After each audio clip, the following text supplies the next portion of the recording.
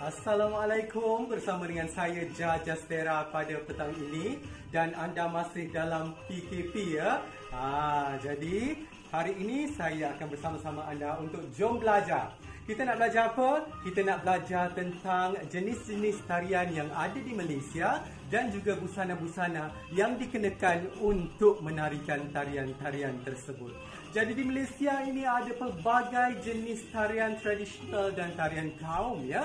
Untuk kategori tarian tradisional Melayu, kita ada inang, zaping, joget dan asli. Dan untuk pakaian busana tarian inang, ha, ini dia baju kebaya. Ha, tarian joget pun boleh pakai baju kebaya. Ha, dia ada buntang di tengah. Ha, bentuk dia macam rama-rama. Cantik.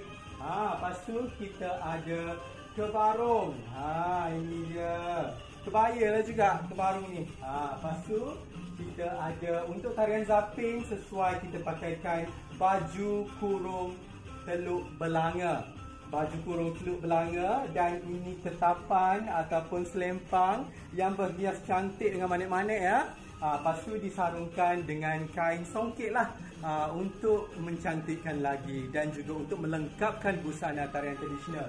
Bagi kaum lelaki pula, tidak asing lagi, ha, ini dia baju Melayu Teluk Belanga dan ini ialah baju Melayu tradisional, baju cekak musang. Ha, sesuai untuk tarian tradisional Melayu, Inang Zaping, Joget dan Asli. Selepas itu di atas kepalanya kita letaklah tanjak ataupun ah, yang ah, beragama Islam tu ah, songkok adalah sesuai. Jadi untuk aa, kategori seterusnya ialah tarian rakyat contohnya seperti tarian Wau Bulan di negeri Kelantan. Ini dia baju aa, kebaya Kota Baru. Ha, cantik ya baju kebaya Medan pun panggil juga. Ha, ni pasti dipakaikan dengan kain sarung. Kain sarung dipakai lipat selisih. Lepas itu ada bunga di tepi. Cantik pakai untuk tarian luar bulan. Dan ha, ini baju kurung kedah. Ha, Lengan tiga suku. Lepas tu lehernya pun macam ha, teluk belanga. Ha, Baju kurung kedah eh? Baju tradisional.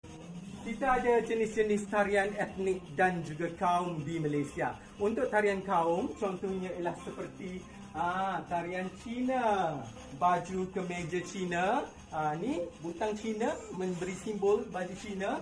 Lepas tu kita ada wah, baju raja Cina ya. Ah, lengkap dengan topi Cina-nya. Ah, busana dia. Ah, cantik ya raja Cina. Lepas tu kita ada Cheongsam. Cheongsam Cina untuk tarian Cina. Ini dia. Ah, yang labuh pun ada, yang singkat pun ada. Mengikut budaya orang Cina. Dan seterusnya ialah kita ada tarian India.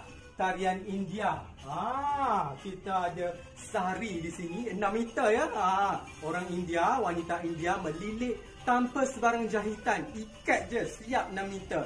Dan kalau anda tak nak pakai dengan 6 meter tu, pakailah baju dan skirt macam ni. Ini dipanggil lengga. Ah, selain daripada itu, ha, kaum wanita juga memakai kurti ha, berbelah di tepi bersama dengan seluarnya dan juga untuk tarian India lelaki ada topi dan juga kurta lelaki. Ha, ni baju siam. Lepas tu kita ada kecopong siam. Ya. Yeah. Ha, dia ada sibah dia lah. Ha, dia letak di bahu. Dia ada sarung dia. Sarung songkit ke, songkit siam ke. Lepas tu ada baju dia. Dan sibah yang dililit di atas bahu ya. Ha, di Sarawak kita ada pelbagai kaum dan etnik di Sarawak. Ni dia. Ini ialah busana orang ulu. Cantik busana orang ulu. Ah, bukan main lagi ya. Manik-manik penuh. Saya tak tahu mana orang Sarawak dapatkan manik-manik tersebut. Tetapi inilah dia. Ah, budaya dan juga seni yang tidak dapat ditandingi di Malaysia.